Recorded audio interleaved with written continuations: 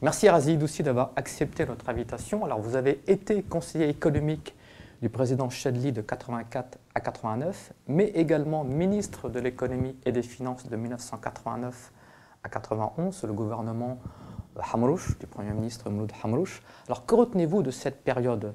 Est-ce qu'on peut parler d'une période entre 89 et 91, une période de, réelle ouverture démocratique accompagnée de réformes économiques?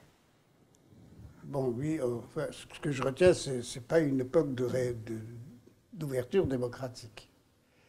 C'est quand même une époque où le parti du FLN, mais en fait le pouvoir. Je parle de 89 à 91. Oui, oui. Non. Alors, en 89, il y a eu quelque chose. Premier élément, il y a eu deux choses importantes quand même. En 84, je n'ai été appelé que parce qu'il n'y avait plus d'argent dans la caisse. Et donc, on a cherché des gens qui pouvaient dire, euh, avoir, un discours différent. Donc, été appelé euh, pour parler de ça, en fait. il y a eu ensuite les événements d'octobre 88. Et ça, c'est un moment de changement. Et à ce moment-là, l'ouverture démocratique était inéluctable. En 89, avec la Constitution de 1989. Non, les gens sont sortis dans la rue. Oui, mais la Constitution de 1989. Il y a eu des morts avant la Constitution. On a dit la seule solution, c'est l'ouverture démocratique. C'est à ce moment-là donc qu'on a parlé d'ouverture démocratique. Nous y reviendrons. Il y a eu, le Chadli a accepté, c'était un risque énorme puisque toute l'armée était contre. Il a accepté. Il y a eu la constitution de fait, mais c'est une constitution limitée, une ouverture démocratique limitée en partie. Était limitée d'ailleurs par deux choses importantes. On ne discutait pas de la place de l'armée, ce qu'on aurait dû faire. Il y avait une discussion, il y a eu l'article 7 et 8 dont on parle aujourd'hui, qui sont des créations de ce moment-là. Et il y a eu le Conseil de la Défense qui ne sera jamais réuni. Donc on peut dire que l'ouverture démocratique avait de gros problèmes là-dessus. Voilà, euh, mais c'est un grand moment, et c'est un moment où il y a eu une ouverture démocratique, où il y a eu le multipartisme, ce qui n'est pas très très brillant de mon point de vue, mais enfin il y a eu ça. Et voilà, ça c'est 89, ce qui est important c'est ça. Ce que je voudrais ajouter peut-être aujourd'hui, c'est que les gens qui sont sortis dans la rue en 89 sont sortis non organisés. En 88 plutôt 88, sont sortis non organisés. Ils ont crié, ils ont obtenu l'ouverture démocratique et ils sont rentrés à la maison. Ils ont laissé la place à d'autres. Si on parle du Hirak aujourd'hui, c'est un problème qui est vrai. On ne peut pas sortir dans la rue et ne pas s'organiser. Nous y reviendrons peut-être. Alors sur les réformes économiques en 1989, ces réformes ont été avortées? Alors, ça c'est intéressant. Les réformes économiques ont commencé en 1986 quand j'étais conseiller, je proposais, donc elles ont commencé en 1986 jusqu'en 1991, c'est quand même six ans de réformes économiques, ce n'est pas en un an. Ces réformes économiques ont été fondamentales pour deux raisons. La première, c'est qu'il y a eu une capacité algérienne pour gérer ces réformes. Dans la bureaucratie algérienne de l'époque, on trouvait des capacités humaines, dans les entreprises publiques surtout, pour gérer les réformes.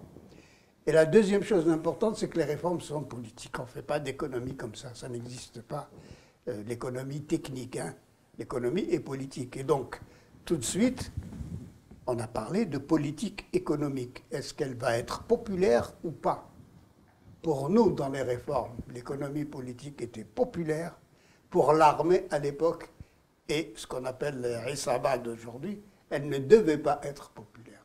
Peut-être et donc, voilà euh, la situation. Les réformes ont rencontré une opposition brutale parce qu'on ne voulait pas d'économie politique populaire.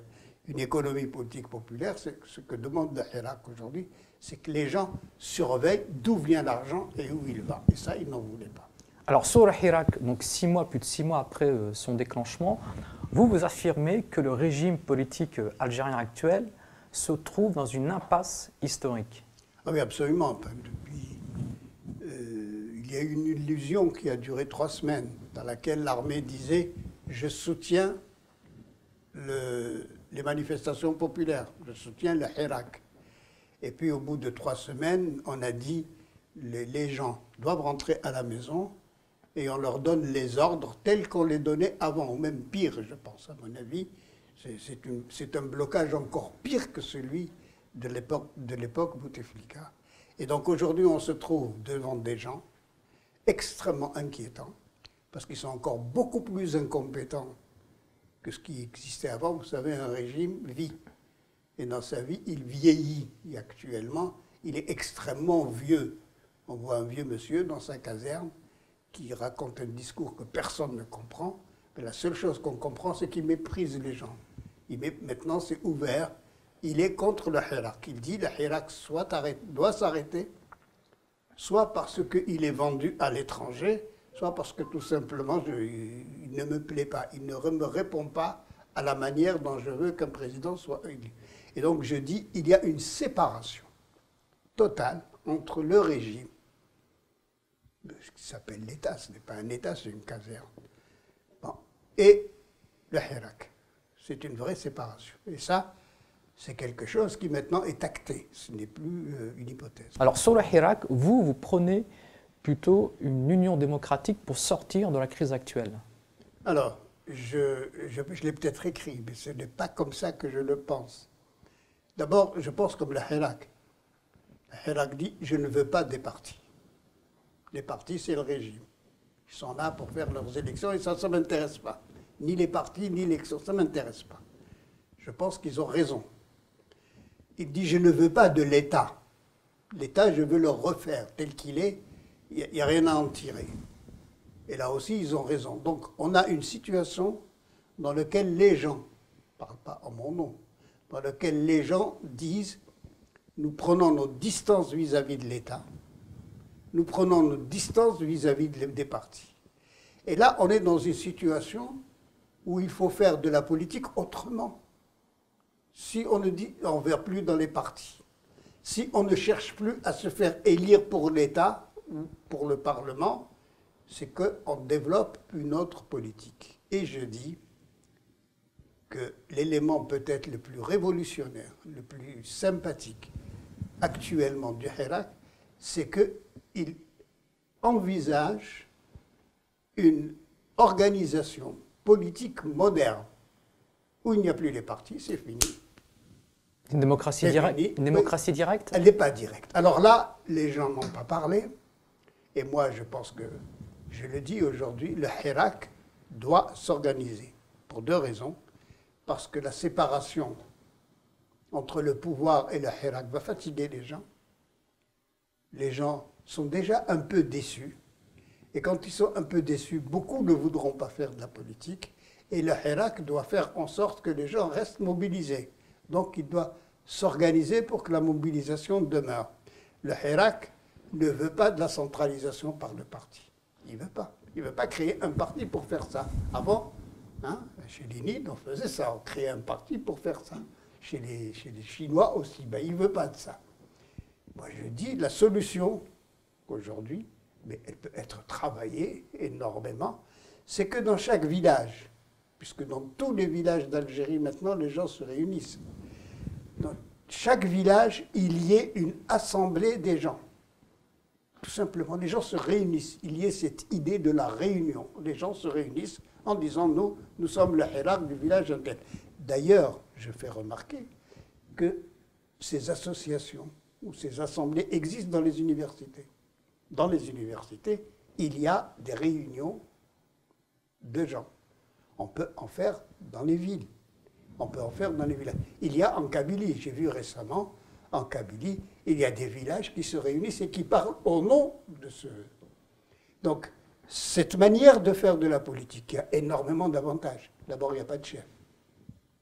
C'est par chaque village, il connaît ces gens, il vit avec eux. Personne ne peut venir lui raconter quelque chose contrôle ses propres gens, ce qui est déjà énorme politiquement. Deuxièmement, on ne peut pas contrôler tous les villages. Il faut aussi penser au conflit qu'il y a entre l'État et le Hirak. Et le Hirak peut durer, pas, pas durer sur des slogans, il peut durer sur la vie, parce que quand ils se rencontrent dans les villages, ils ne vont pas parler des grands slogans. ils vont parler de la vie. Ils vont parler des voleurs dans leur ville. Ils vont parler de l'eau dans leur ville. Ils vont parler de l'école dans leur ville. Et mon idée à moi, dans cette situation où j'ai vu beaucoup de débats, de gens sympathiques, c'est d'oublier les partis et de créer les assemblées locales. Alors une question sur le général euh, Ahmed Gaïd Salah, dont vous dites qu'il est seulement le porte-parole falot d'un groupe euh, de généraux qui détient réellement le pouvoir réel.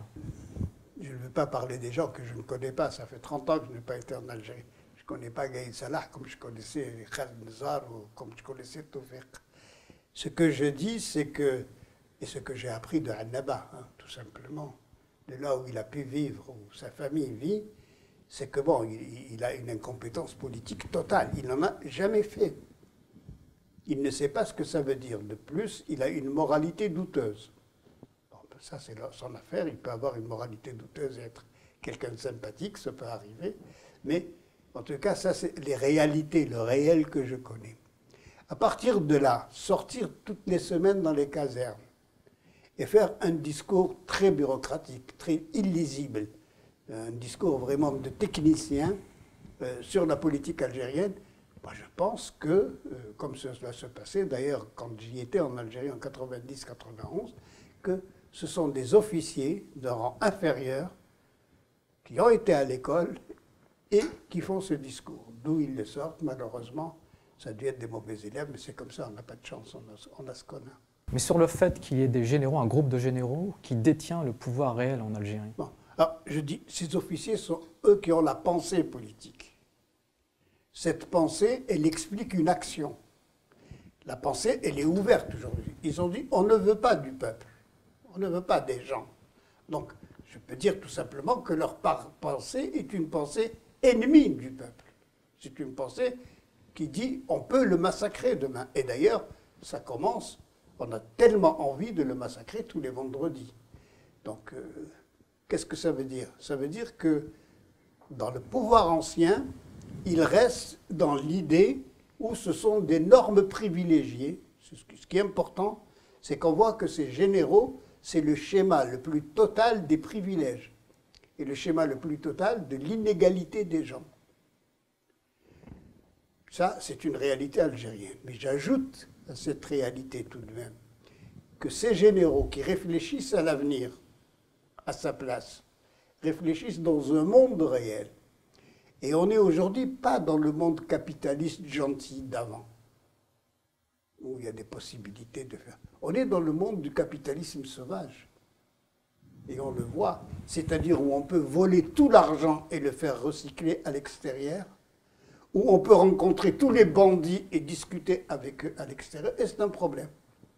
Alors, voilà des officiers qui tiennent ce pays avec ces deux contradictions. Un capitalisme sauvage qui les pousse à s'ouvrir au capitalisme sauvage, pas, une réalité plus propre, et une réalité interne où ils haïssent les gens.